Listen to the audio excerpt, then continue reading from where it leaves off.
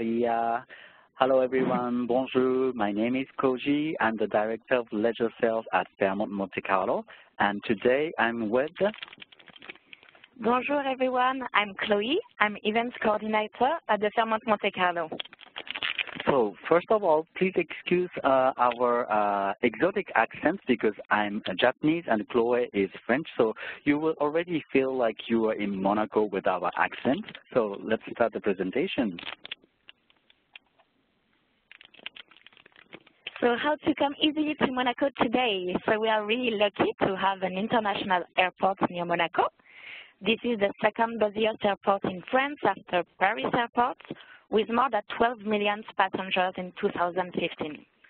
Thanks to Delta, your guests can enjoy direct flight from JFK Airport to Nice Côte d'Azur Airport. But don't worry, if you are not flying from New York, uh, you can connect uh, with other European hub airports. Otherwise, as you may know, Monaco is not France, but you can go quickly to go to Monaco without passing by other cities by using buses, by using taxis, and it's really easy. Otherwise, you have a really nice option, which is the helicopter. Seven minutes flight with the second largest helicopter service in the world right after Vancouver. So this is absolutely nice. No need to organize private transfers once you arrive in Monaco, as the helicopter company transfer the guest for free at the Fairmont Monte Carlo. This is absolutely nice. So, welcome to Monaco. So, Principality of Monaco is the name of the country. Monaco is the second smallest country in the world, just after Vatican.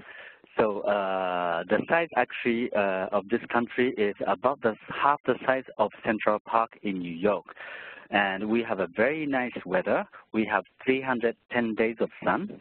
So if you have uh, bad weather in Monaco, you can probably uh, take your chance in one of the casinos to uh, win some, uh, you know, money.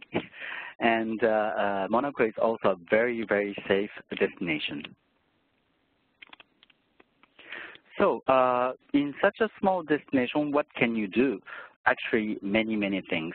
Uh, already, Monaco is uh, uh greatly located within uh, France. Well, of course, Monaco is not a part of France, but we are located in the southeast of France very close to uh, Italian border as well. You can easily uh, combine excursions in Italian cities and French cities.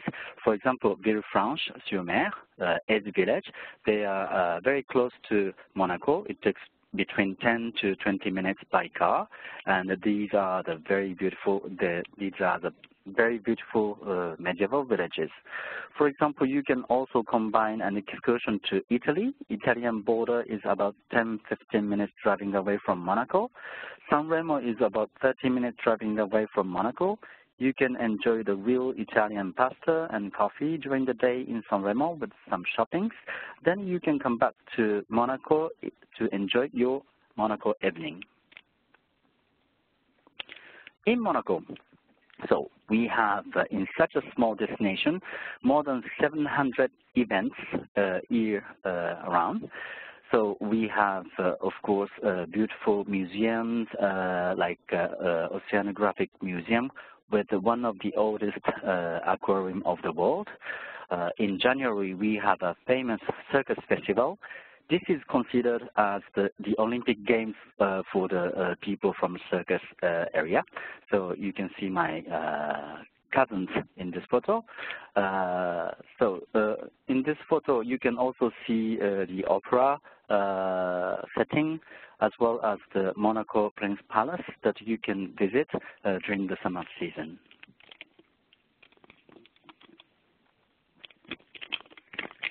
So I will talk about the history of the Monte Carlo area. So this old photo, you cannot see, you cannot find Fairmont Monte Carlo. You can see, uh, you can find uh, Grand Casino and Opera House already.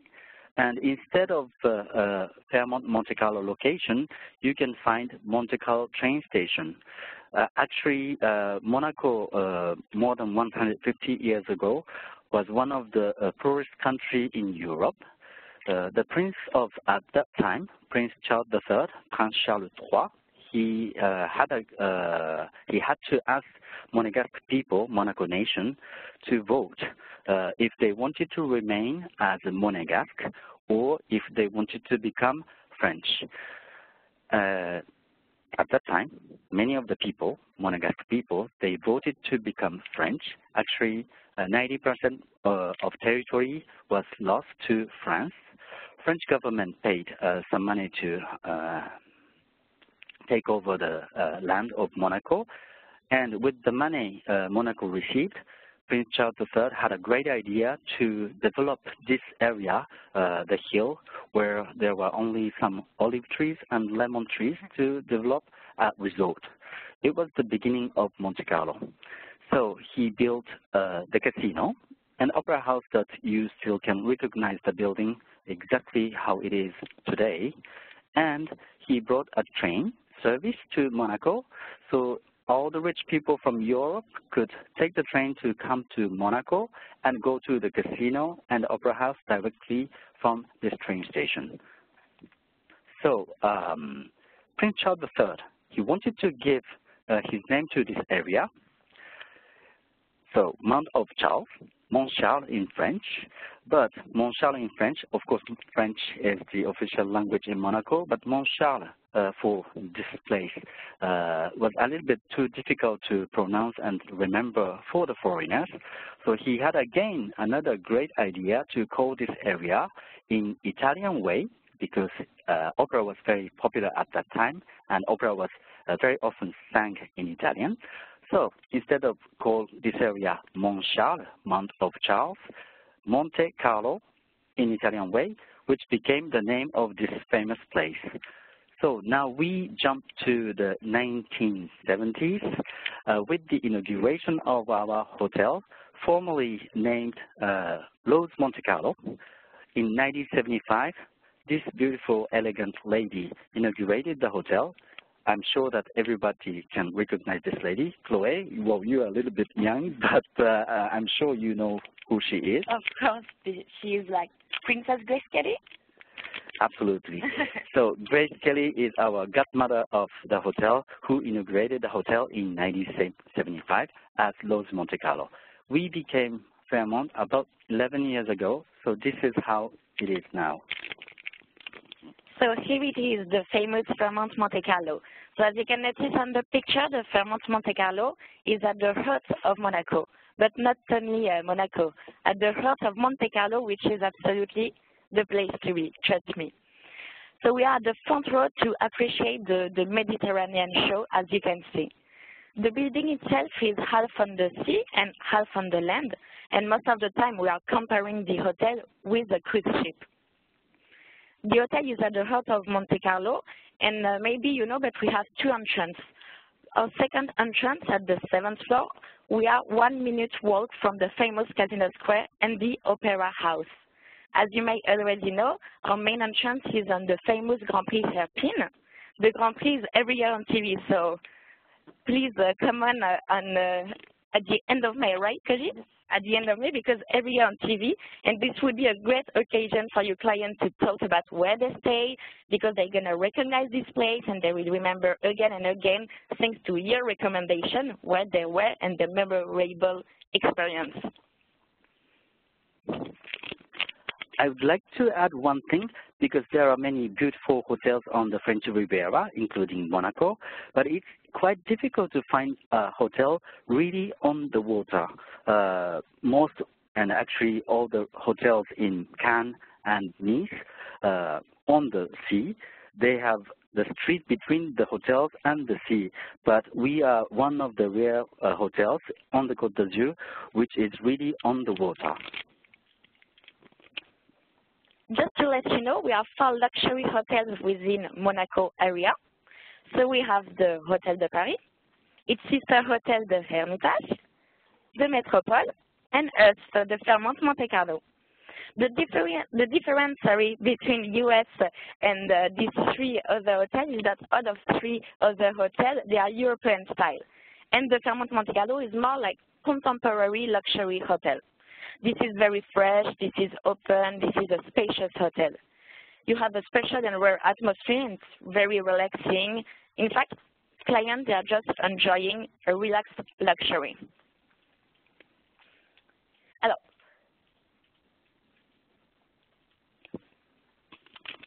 So we have uh, uh, 602 rooms uh, between uh, the rooms with the garden view, with the sea view, and very famous hairpin turn view. This is uh, our Fairmont Garden View room. Uh, 35 square meters, it makes 377 square feet.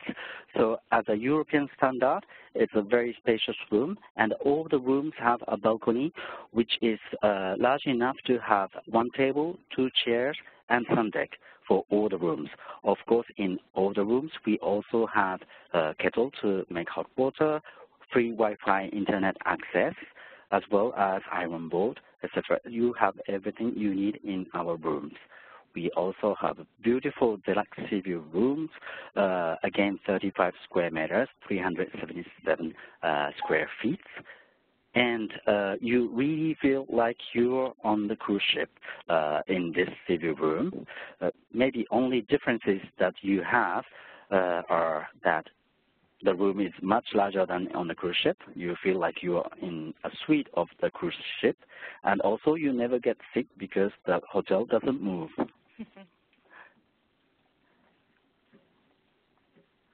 we have different and beautiful suites as well. This is um, one of our uh, suites called Grand Prix Suite. Uh, the uniqueness of this room is that we have two balconies overlooking the beautiful, breathtaking Mediterranean Sea. But also we have uh, another balcony overlooking the hairpin turn of the Grand Prix. We welcomed many, many uh, celebrities in this suite. So Koji, what makes us unique?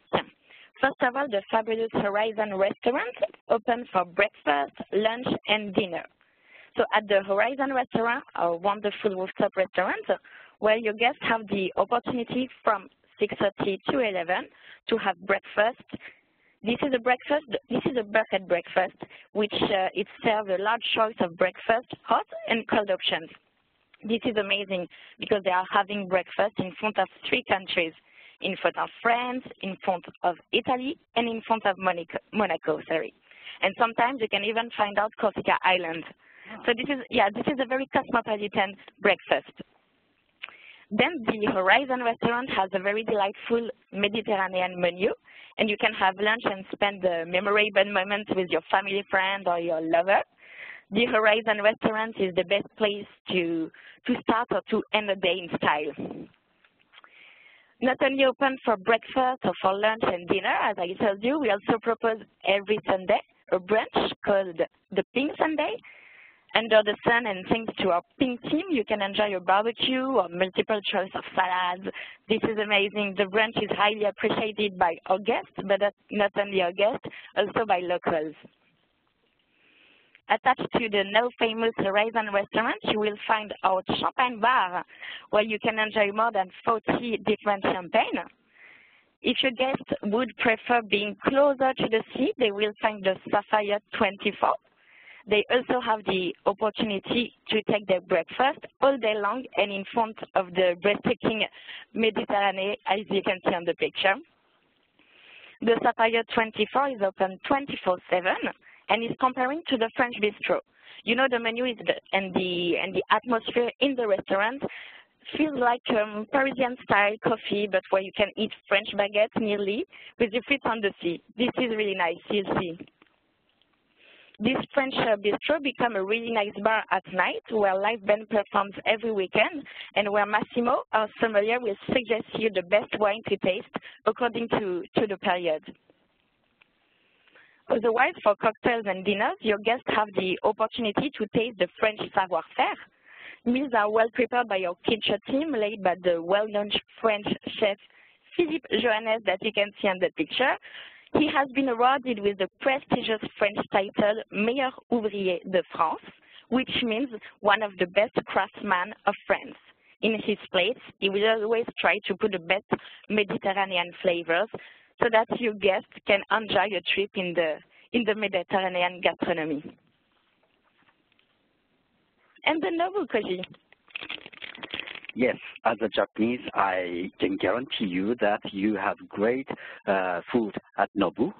Uh, but it's even for me, uh, it's very uh, surprising and discovering because Nobu is not a traditional Japanese food, but uh, Japanese fusion food.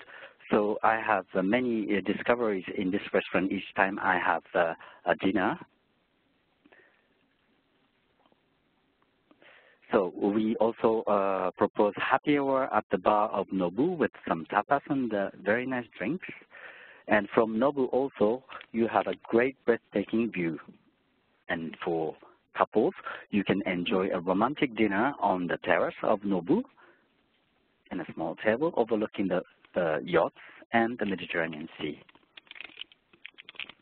And what makes us unique also at the seventh floor, guests will find a nice rooftop pool open year-round. They have a free access to this unique pool and also in winter as you may know, it's never too cold or it's never too hot in Monaco, and of course this is heated water. I'm sure you can imagine in front of this picture a nice swim in front of the three countries and the waterless beauty of the Mediterranean landscape. As you may know, we are proud to have been chosen by Nikki Beach to be the Nikki Beach in Monaco. The concept started in Saint-Tropez and is well known all over the world. I think you have one in Miami, for instance.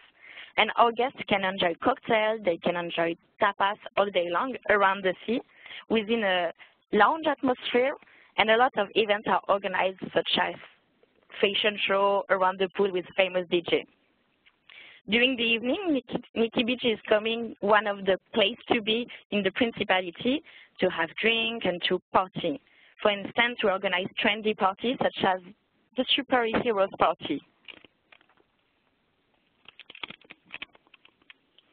So we also have a very beautiful Fairmont Spa with 18 spacious uh, treatment rooms. Some of them are equipped with a jacuzzi, uh, and some of them are for couples. And this uh, Fairmont Spa had been awarded as the Monaco's leading spa resort in 2016.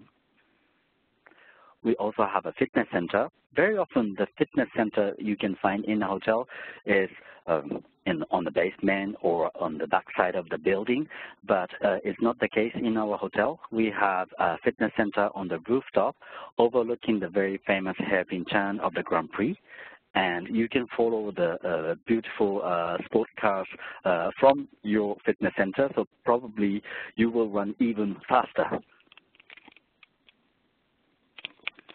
So our guests are from all over Horizon and are all diverse. Family, friends, couples are more than welcomed, of course. Also at the hotel, this is not far from the Monaco Harbor. So this is a famous place to for pre and post nights because, as Koji told you, they continue filling on the cruise ship. Hello, who loves us exactly? They love us. Koji, can you tell me who is on the picture, maybe? So the Japanese gentleman in the middle is Nobu-san. So uh, he came to the hotel and he, he sometimes come to the hotel to uh, check all the quality of Nobu, Nobu food. Uh, so uh, this is Nobu-san. Next to Nobu-san with the uh, beret uh, hat, uh, this is maybe difficult to recognize, but this is Robert De Niro. And I confirm this is Robert De Niro. And also you have Prince Albert with his wife Charlene, who loves coming to the hotel and always comes to drink Italian coffee at the at the Sapphire 24. In fact, Koji told you, but Monaco is one of the safest places on earth. A lot of celebrities are living there, such as Shirley Bassey or Novak Djokovic also. Uh, we are also popular on social media. I mean, very popular, with more than 50,000 likes on our Facebook page, which is often fed by our great communication team. So do not hesitate to follow their likes and to check out our Facebook page. And to finish with, we are very, very proud to announce you that the World Luxury Hotel Awards have chosen us, so the Fairmont Monte Carlo, to be the best luxury coastal hotel in Europe in 2016. So what can you do in uh, 2017 this year in Monaco and in Fairmont Monte Carlo? So of course, uh, in April, we have the very famous tennis tournament. Uh, in September, uh, it, this became uh, the biggest, uh, world biggest uh, luxury yacht show in September. This is at the port of Monaco. Then obviously, everyone knows about the Grand Prix in Monaco in the end of May every year. We are just in front of this famous hairpin turn of the Grand Prix. We also have about 40 rooms overlooking the hairpin bend. So this is really the place to be and place to be seen. So thank you very, very much for your attention.